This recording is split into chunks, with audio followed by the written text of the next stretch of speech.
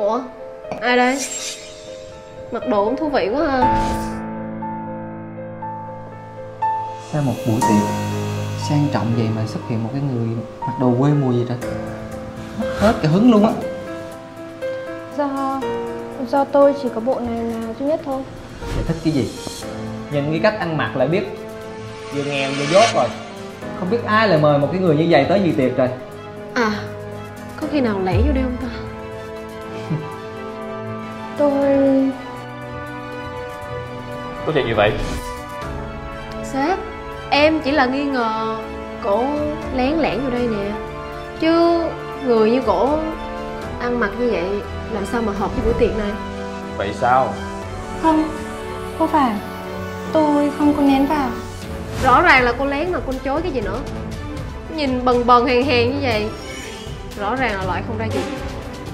Vậy là các em đánh giá người khác chỉ vô vẻ bề ngoài rồi thì sự thật nó là như vậy mà. Anh Vậy các em ăn mặc đẹp đẽ nhưng mà tính cách lại trái ngược với vẻ bề ngoài thì đó gọi là gì?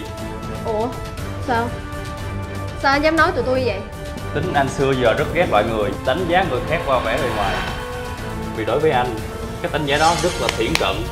Và các đừng quên, ngành của chúng ta là về kinh doanh Tiếp xúc với rất nhiều khách hàng.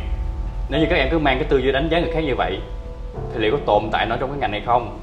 Anh xin lỗi, các em không hợp với buổi tiệc này. Anh? Anh dám đuổi tụi tôi đi hả? Anh ý anh tổ chức được một buổi tiệc giữa sinh viên và nhà tuyển dụng. Là anh ngon hả? Hậu đi.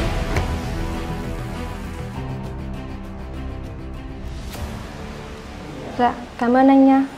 Em thấy hai bạn đấy nó cũng đúng. Em ăn mặc như này Sao xứng với buổi tiệc sang trọng này chứ? Em đừng tự ti Anh đã nghe sang nhắc về em rồi.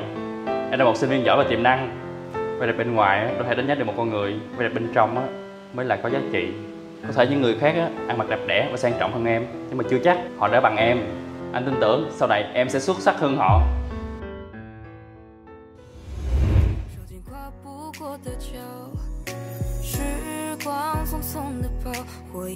Chúc mừng em, anh đã không nhìn lầm người. Cảm ơn anh vì những lời nói ngày đó. Nhờ nó mà em đã trở nên tự tin hơn và thành công như hiện tại.